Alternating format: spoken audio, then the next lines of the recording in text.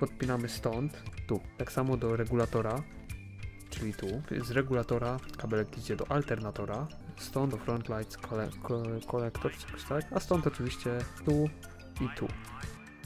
Yy, to musi być do positive terminal, a z positive terminal musi być jeszcze poprowadzone do starter. Musimy poluźnić teraz śrubę rozrusznika kluczem 7 mm do negatywnego terminala, czyli to jest. Teraz mogę 7 mm i 5 mm już podłączyć. Fusebox, który jest tutaj, stąd ma być poprowadzone do ignition switch, radio do radia, ale oczywiście nie, a nie, jest. I to do light switch.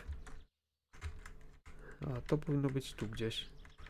Instrument panel 1 do fuseboxa. Musisz być takim światełko z wieńczeniem.